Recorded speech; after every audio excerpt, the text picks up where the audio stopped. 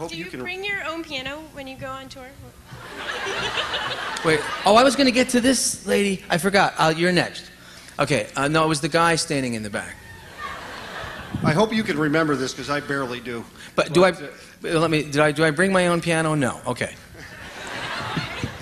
In 1972, uh, a couple of friends of mine and I went down to the Paramount Theater in Springfield to see a guy named Taj Mahal.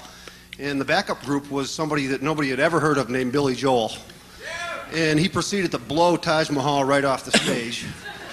And at I'm glad you finished that. Okay.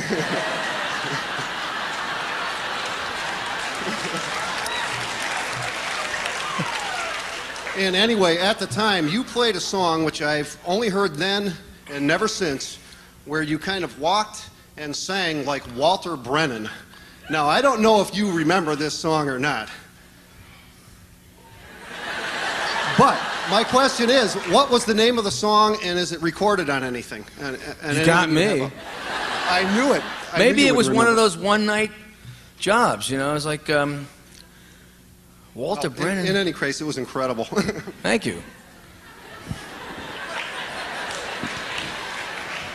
I don't remember. I don't remember. I, Walter Brennan talk like that. Walter, Walter, really?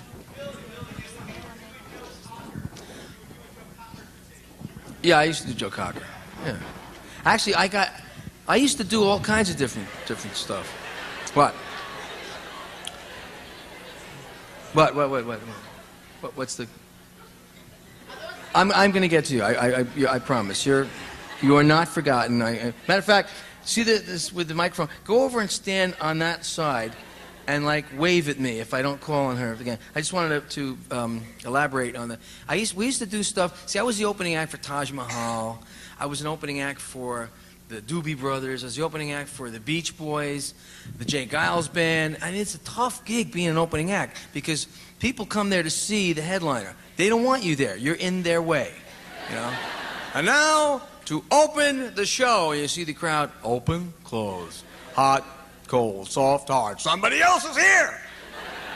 Beach Boys, Beach Boys, Beach Boys. And, you know, there's a, there's a comedy routine that Albert Brooks does about that. Uh, Memoirs of an opening act. It's called. It's brilliant. Um, and uh, but they don't want you. They don't want you. They- you know, you're, and you're there. And you're playing my little piano man, and Captain Jack, and they're going good vibrations. You know, California girls. They just don't want you. So what we would do from time to time is I would just do something like a Walter Brennan impression, or I'd do a Joe Cocker. Scamming through the bathroom window,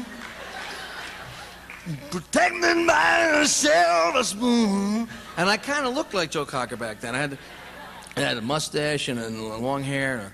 And she trying to manage to me.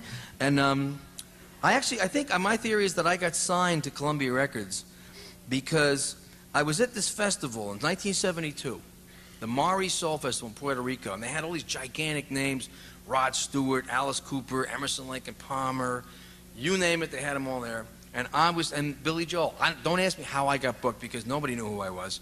And I'm up on stage and I'm doing my little piano man, you know, little Captain Jack, and people are just like.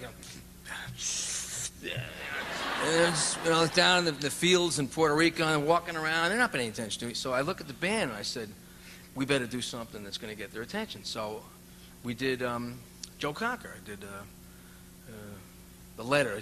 Was give, give me a ticket for an airplane. And the crowd rushes the stage. Now, because I didn't know this, Joe Cocker had been booked to do this festival. So they thought Joe Cocker came on in the middle of my set. Because these people, I don't know what they were smoking, but all of a sudden they thought I was Joe Cocker. Scammering through this, wow, the whole crowd rushes the stage. Now, there at the time was the guy who was then president of Columbia Records, Clive Davis, who probably didn't have a clue who Joe Cocker was, but he knew there was this guy on stage, Billy Joel, and all of a sudden he galvanized this huge crowd.